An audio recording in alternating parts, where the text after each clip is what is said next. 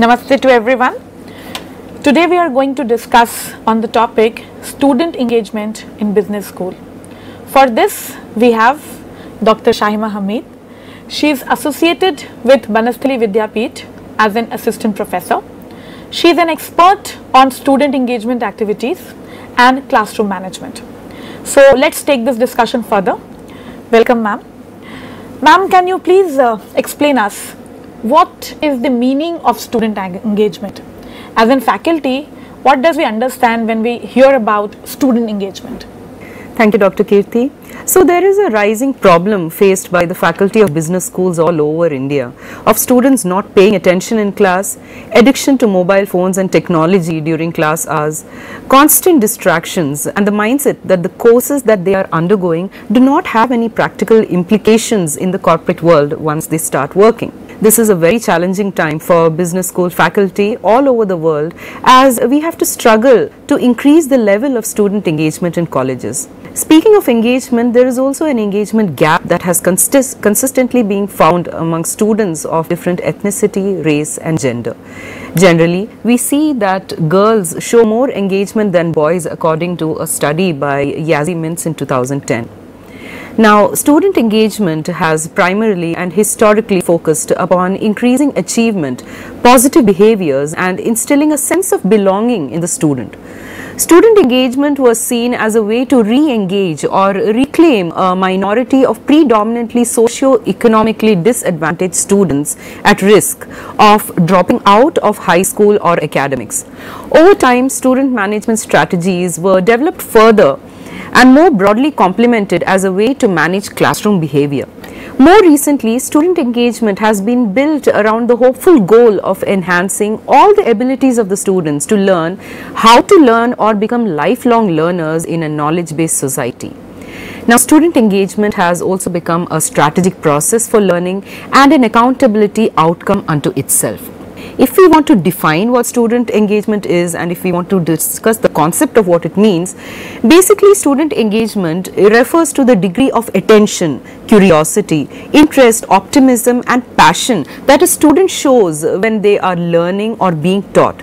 Now this extends to the level of motivation they have to learn and the progress in their education. Generally speaking, the concept of student engagement is predicted on the belief that learning improves when students are inquisitive, interested, inspired and that learning begins to suffer when students are bored, dispassionate, disaffected or in other words disengaged. Stronger student engagement or improved student engagement are common instructional objectives expressed by educators. In many contexts, you will notice that student engagement may also refer to the ways in which student leaders, educators and other adults might engage students actively more fully in the governance and the decision making in academic activities in school or colleges and the design of programs and learning opportunities in the civic life of their community.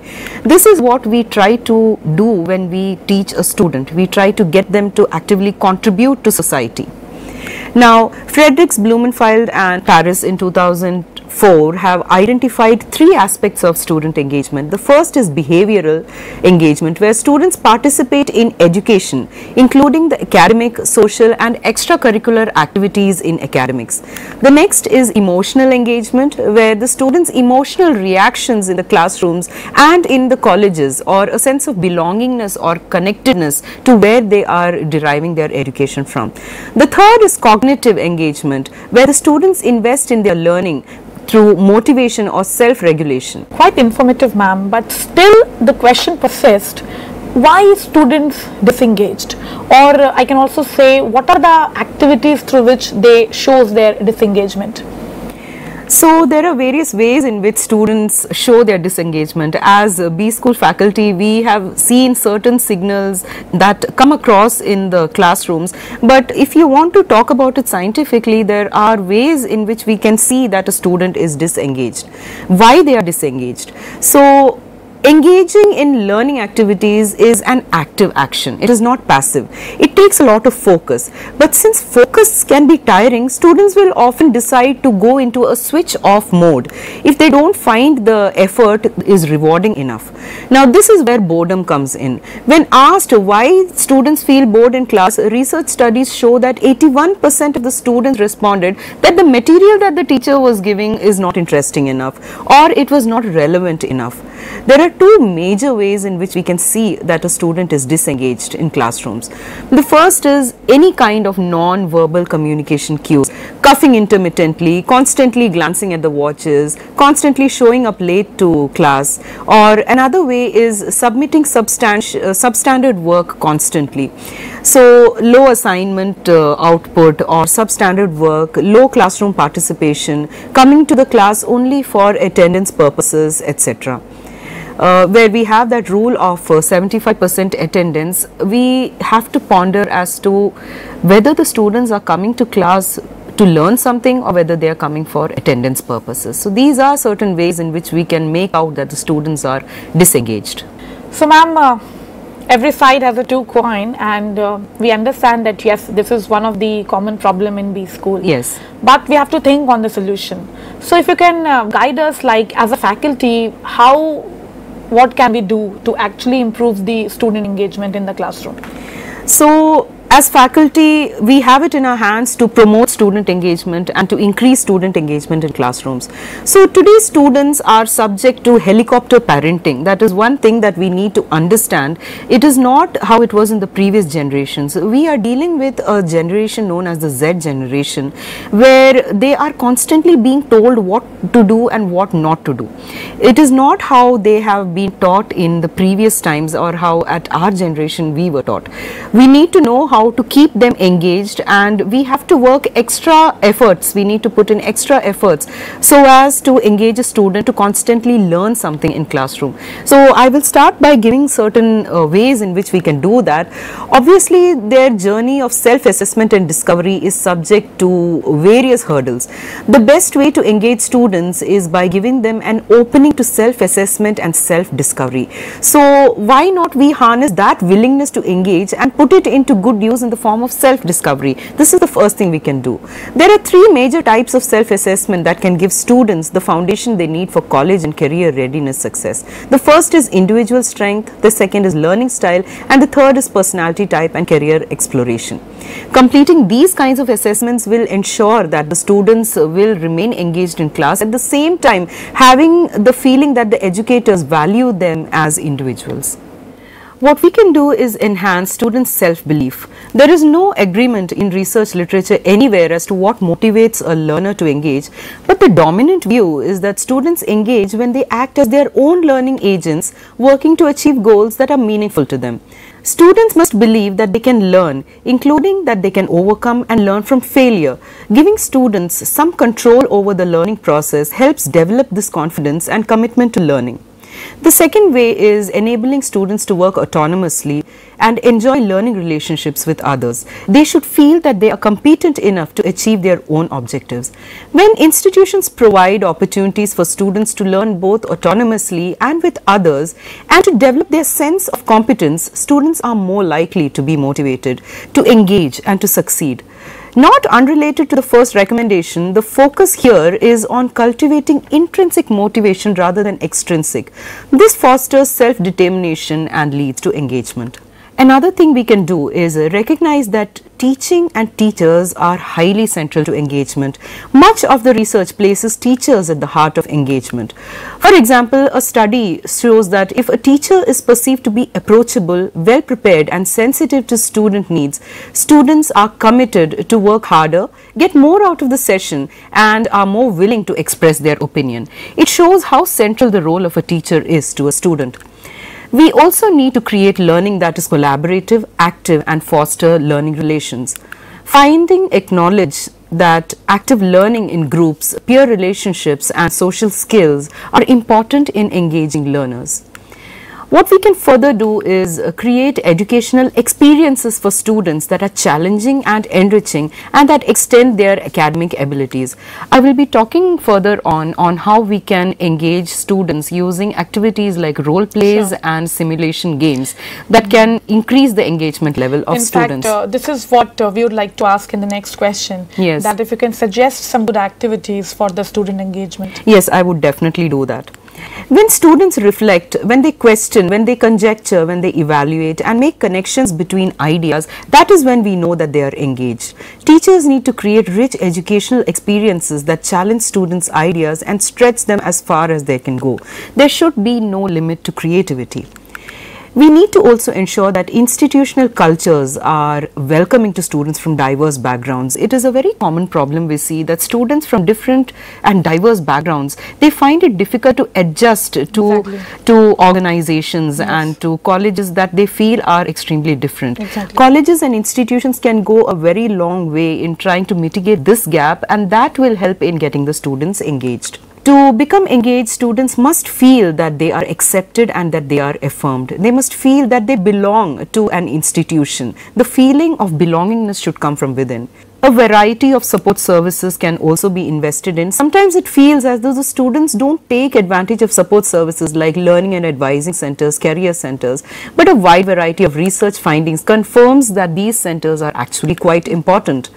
They are perceived as a part of institutional culture and students engage when that culture values and supports their efforts to learn. Students need to adapt to a changing student expectation. An institution should never be satisfied with how it is promoting student engagement. As students learn and new research evidence emerges, institutional practices should be adjusted. Engagement cannot just be promoted, it must also be maintained. We need to enable students to become active citizens. What is needed is a democratic, critical conception of engagement that goes beyond strategies, techniques, and behaviors. A conception in which engagement is participatory and leads not only to academic achievement but also to success as an active citizens. Institutions also need to enable students to develop their social and cultural capital. This kind of capital derives from a sense of belongingness, from active relationships with others, and from knowing how things work around the institution. It is especially essential for minority students who need to be successful not only in classrooms but beyond it as well. So, this goes a very long way in improving student engagement. That's great, ma'am. So, in continuation with my last question only, if you can suggest some good activities for the student engagement. Yes, I'd be glad to do that. So there are various tried and uh, tried and tested techniques for uh, different activities, but I think the first thing we can all start by doing is by engaging students in activities like role play, buzz groups, and other simulation games. So I will uh, talk a little bit in detail about Sure. this. So the first uh, step that we can talk about is the role play. Role play is an activity whereby students are given a situation or a role whereby they assume that role and act out. So what happens is it is an experiential learning that contributes more to the learning in a classroom setup. It instills a sense of belongingness and confidence in the students and it also provides for a fun element in the classroom. So there are three stages in which we do role plays. The first is the setup in which we consider the students to pick and we provide clear instructions to the students. The action is we set a time limit and stick to it, listen for a content and tone in your role play and we last step is where we debrief the entire role play and ask how realistic was the interaction or questions like what was surprising about the role play why did you say that to this person why did one actor say this to another person this way what would you have done differently etc Okay. so let us take an example of a role play in some detail. It could be as follows. The first step is identifying the problem. A clear problem or issue should always be identified so that the purpose of the role play is clear. Role plays are often used for manager employee relations such as giving feedback etc. Employee customer relations such as handling complaints or grievance issues within the workplace such as how to respond when an employee presents a grievance. Uh, an interview technique for example learning how to lead a behavioral event or a competency interview etc. The second step is gathering data on problems. Collect all the information you can on problems or the issues that you have identified. Have reports and memos been documented about these issues? Let's find ab out about that first. For example, a role play about handling complaints will be much more meaningful if you can understand the different types of complaints that a customer service rep gets or what kind of challenges they face in responding to those complaints uh, let's not assume that you can just sit down two people and say, okay, now let us role play this situation. You need background information to prepare the case. You need to identify your training goals. What purpose are you doing this role play for? Now that you have the issues identified, how do you think role play is going to help employees deal with them? As in all training programs, one should write down the specific goals and refer to them after the training to see if they have been reached kindly involve your students so that they feel more engaged at the preparatory stage of role play itself after which you have to prepare the case.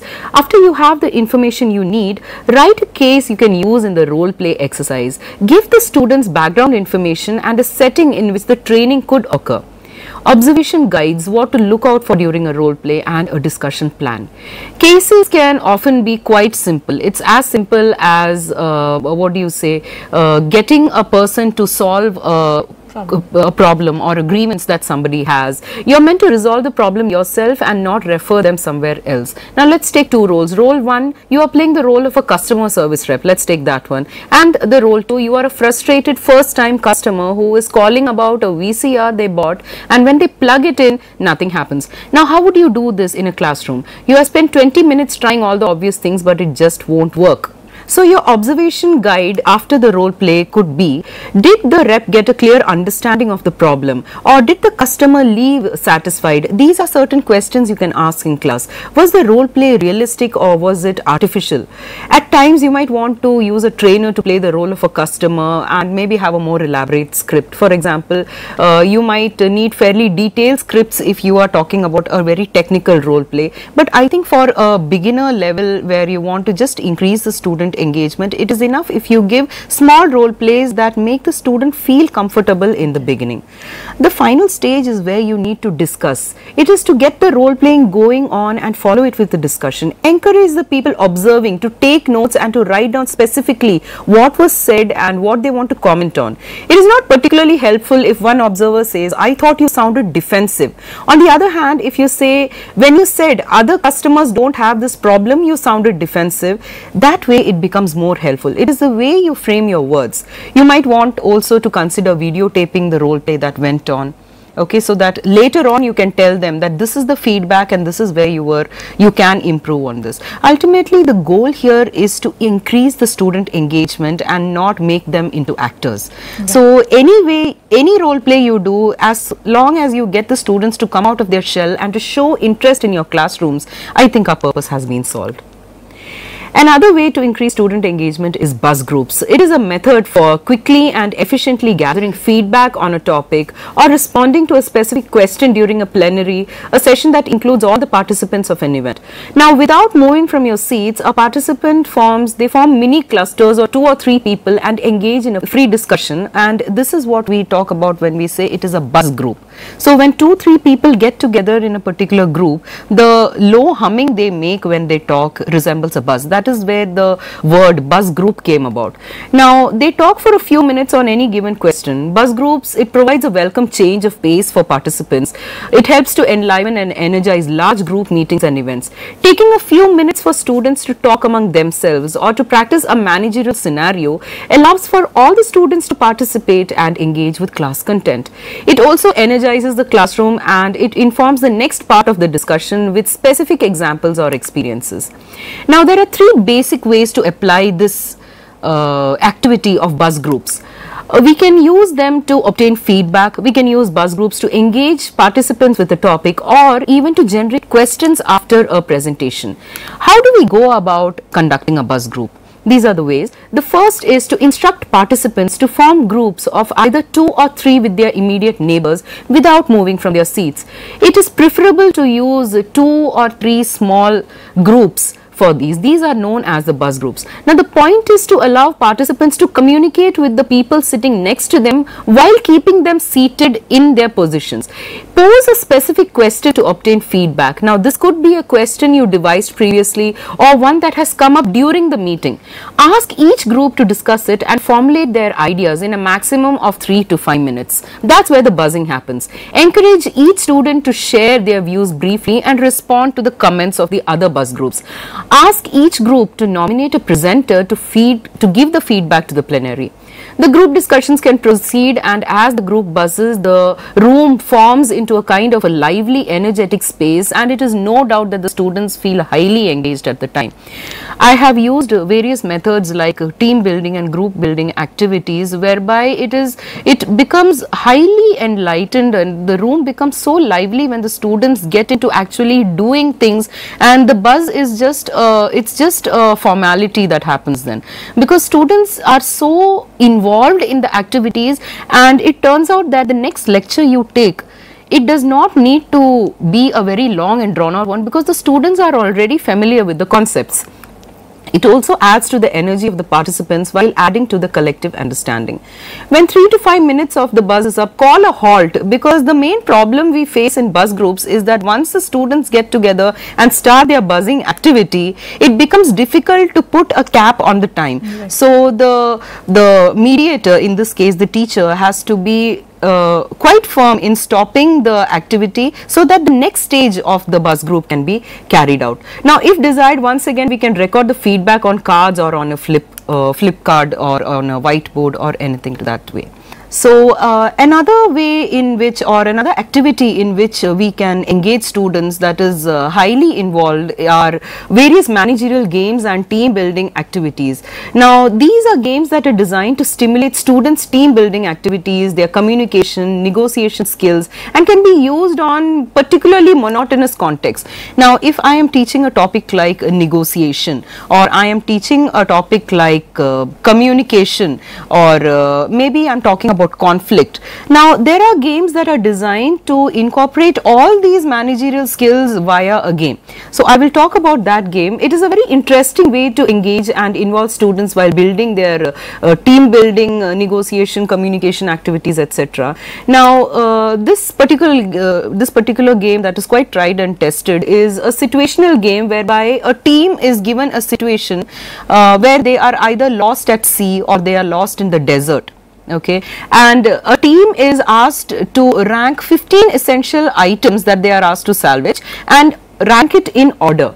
Uh, a chart or a ranking chart is provided for every member of your group and each person is asked to take 10 minutes to decide their own ranking of importance of the random items that are salvaged from either the lost at sea or at the lost at the desert. Now what happens is the choices are written on one column and then the students are asked to get together in a buzz group or huddle and then they are asked as a group to rank the items in their uh, collective order. Now what happens is that you will find a world of difference between an individual ranking and a group ranking. Now this is where each person in a team has to convince each other as to why their choice is the right one and why they should be followed. So you will find around 20 to 25 minutes goes in the discussion of each group for this and it ends out that the um, uh, what do you say the ranking that has been given is either dependent on whether the team wins or whether they lose that particular particular situation. It is a 60 minute game and this can be uh, used once again for an icebreaker activity and it is compared with the expert rankings on maybe a PowerPoint presentation you can show that and you can explain the logical choice as to what is the correct answer and whereby the students have this kind of uh, uh, revelation as if they work together as a team would they have survived a particular game or if they did not, if they worked individually, whether they were, the chances for survival were higher or not. So another way for engaging students is uh, known as your various self-assessment surveys. Now, as I told you, it is highly engaging for students to find out more about themselves. So you have an array of self-assessment uh, uh, surveys and questionnaires that are designed to find out aspects about students that they themselves were not aware of. So such assessment surveys such as recognizing conflict styles, MBTI, the creativity level assessment, etc. can be used in classrooms to engage students. Now, when a student feels that he or she is finding out more hidden elements of self, it will lead to further engagement. Different self-assessment surveys have been designed by experts to assess a range of interesting aspects of a certain of a student's life. So, let's look at some of the most popular ones. The first one and the most popular one that we use is the Myers-Briggs personality type indicator. It is one of the most well-known assessments and this type indicator indicates that there you fall under any four of the letter types. It's INFP or ESFJ for example. The test is meant to identify the basic preferences for each of the four dichotomies such as whether you are an introvert or an extrovert and it describes 16 distinctive personality traits. Now what happens is the students are highly involved in trying to find out what kind of personality I have. Now this test can also be used to give a kind of a self reflection into students and the students feel further engaged when they come into the classrooms.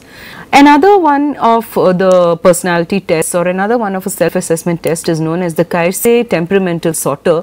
Now this personality assessment is based on the Keirsey temperament theory. It divides people into four temperaments, whether they are a guardian, an idealist, a rational or an artisan person. This assessment measures how people communicate and what their actions tend to uh, be and the test is approximately 71 questions long and uh, it is uh, it's uh, quite uh, revealing to the students that there are so many aspects of their personality that they were not even aware about. It takes a little time yes but then if you have a long class and you want students unsolicited attention this is one way of getting it.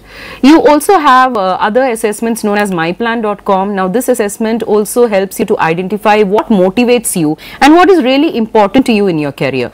By ranking your different aspects of work the results can encourage you to look look at jobs or industries that you might not even have considered before. You will walk away from this test with a list of 739 jobs is what is revealed if you take this test. Uh, it is available online and if you want to do it in a classroom activity, we, we as teachers need to prepare a little in advance but then it is uh, mm, once again a very revealing aspect to students self-assessment as to how well they suit a career style etc. Another very popular self-assessment test is the Big Five personality type. The Big Five personality type divides people into five different personality traits. It's openness, conscientiousness, extroversion, agreeableness and neuroticism. The assessment identifies a preference out of the five and helps you to identify your learning style as well as your work preferences. Also in continuation with this that takes its inputs from other personality tests is also one self-assessment test known as the 16 personalities. Now, uh, this personality assessment starts with the Myers-Briggs dichotomies and it adds archetypes from the Jungian theory as well that come from the big five. Now, you will learn, the students in this context will learn whether they are an introvert or an extrovert if you take this test and at the end of the day, you can be labeled with any one of these 16 personality types that have cool names like mediator or uh, commander or defender. So, it appears or it appeals to the students fun aspect of the classroom. In addition, this is what we need to do, you know, keep the students engaged by making classrooms fun and learning experiences more wide and open. They should not feel that somebody is punishing them by learning, by teaching them something, rather they should feel that they are on a mode of self-discovery. So I agreed with you, Dr. Shaheema, and I think uh, student engagement is one of the important concern for all the faculty members. Yes. Uh, thank you for your time, and it's really a valuable information for all of us. Thank, thank you. you so much. Thank, thank you. you. Thank you.